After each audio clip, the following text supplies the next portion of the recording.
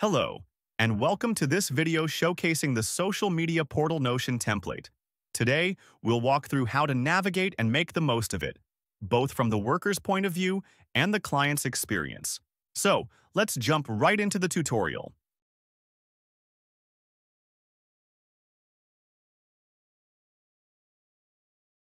Here's the introduction page, where you can showcase your services. Since this is the first thing clients will see, it's important to introduce yourself authentically. To assist you, there's a detailed guide at the top of the presentation board, organized by themes. You'll find sections for introducing yourself, sharing your values, providing easy access to your business information, and outlining your mission. This entire section is fully customizable.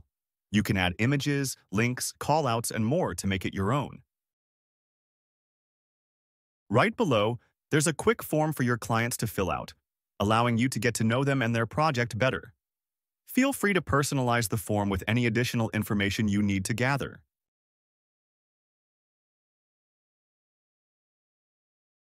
This page contains all the content related to the social media accounts you manage. Now, let's set up a content page step by step. First, click on the Action button to create a new photo. Access the page and go to the Properties section by expanding the menu to reveal all options. We'll go through each one step by step. You can upload one or more images directly from your files or paste a link to an image URL. For the date, we'll set it to today. You can also add a reminder so you'll receive a notification via Notion on your phone or email, depending on your settings. The content type is automatically set as a photo, since we created the page for that, but feel free to change it if necessary. If your content is already published and you've received feedback from your audience, you can enter the number of likes, comments, and views here. The engagement will be calculated automatically, and these metrics will also appear in the social media database, as we discussed earlier. Now, add a description and select multiple hashtags from the existing list.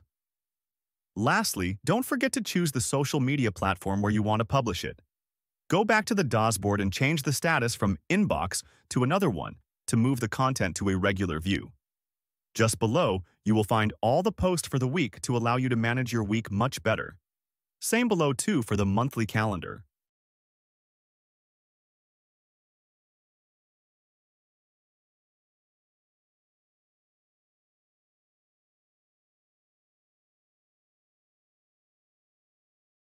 This page allows you to manage multiple campaigns. To schedule a new one, scroll to the bottom of the dashboard and click the button to add a new campaign. Start by giving it a fitting title. Link a social media platform from your social media database. Note that only one platform can be added per campaign. You'll have two date options, a due date for the client and a publication date. Once you're done, Change the status from Inbox to another stage to move the campaign to the regular view.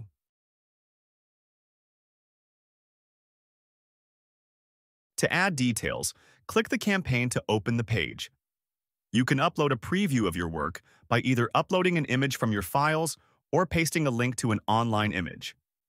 From the campaign page, you can also link transactions and contracts. Just click the New button to create a transaction then add the transaction date. Depending on whether it's income or an expense, fill in the appropriate field. You can also attach any necessary documents. The contract section works the same way. Click New, select the contract type, and enter the date, allowing the client to sign it digitally with just a click.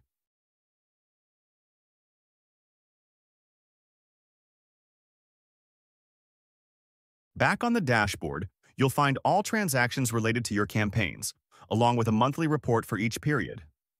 Lastly, update the status of the campaign we created earlier to Published, so it appears in the dedicated view.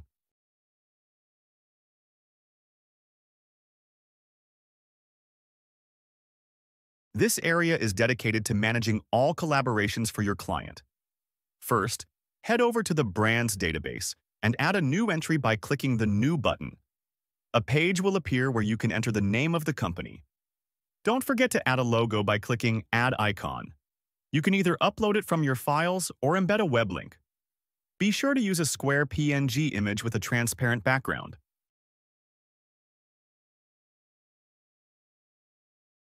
Next, return to the dashboard to create your first collaboration. Click the New button under the Collaboration section to create a new page.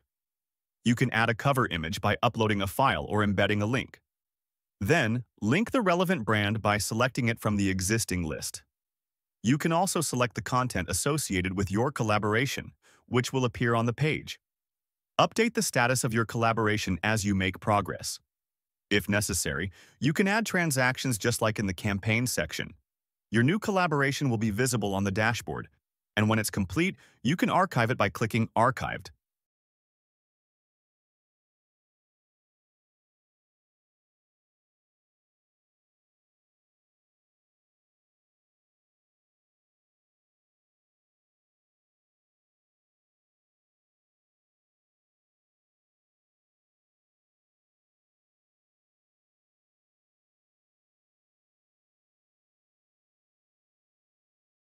As with campaigns, you can manage transactions and contracts directly from the collaboration page, and you can add a monthly report for all income related to your collaborations.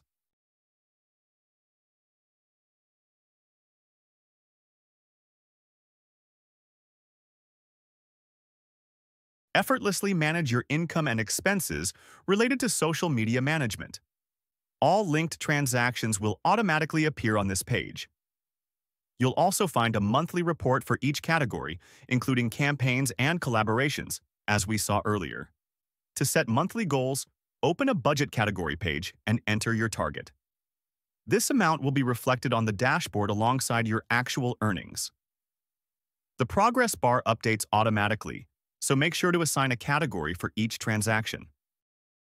Now, let's take a look at the contracts section. Here, you can create as many contracts as needed. Click the New button, rename the contract, choose the contract type and date, and customize the pre-configured template if necessary. Your client will be able to sign the contract with a simple click, just as we demonstrated earlier. You'll also find previously created contracts. To link a contract to a campaign or collaboration, open the Property menu and select the relation property. Then, choose the page you want to link it with.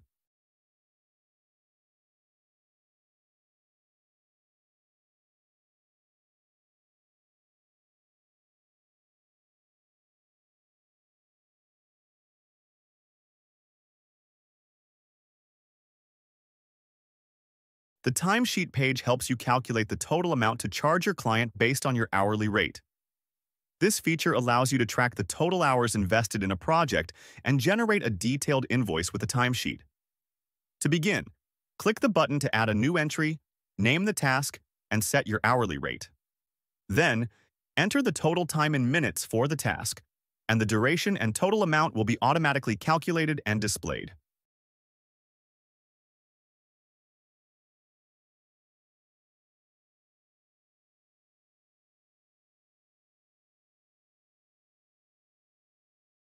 The Meeting section is used to schedule appointments with your clients. To schedule a meeting, click the Action button on the left.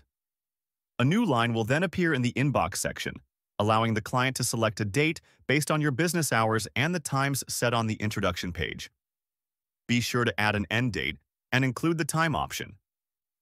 Tags indicate the nature of the meeting, and the priority property lets you rate the meeting from not important to very important. Click the checkbox to move the meeting from the inbox to the regular view. Below, you'll find a board displaying all your upcoming meetings and a monthly calendar.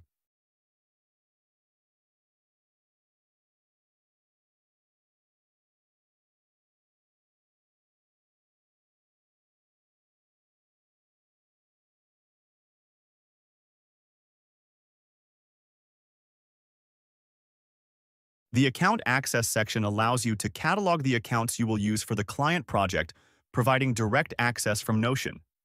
You can also add links to any websites you need. To add another account, simply click the New button in the corresponding database. Name the new page and add a cover by uploading it from your personal files,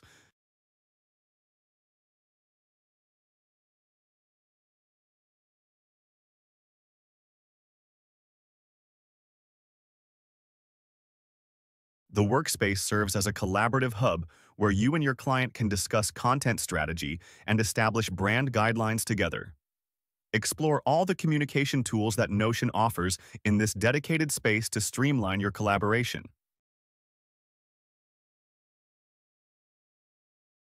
The Messages section allows you to communicate with your client regarding the project. Everything you need will be available in your portal. Click the First Action button to get started. The new entry will appear in the Inbox section. Rename the message, choose the subject based on the content, and select the priority. Once set, you can send the message, which will then appear in the Sent Messages section, allowing you to reply. Open the message to view its content, then reply as needed, and update the status by marking it as replied or canceled if necessary. Messages that receive a reply will appear in other columns, making it easy for the client to see your response. Feel free to archive messages as needed to keep the dashboard refreshed.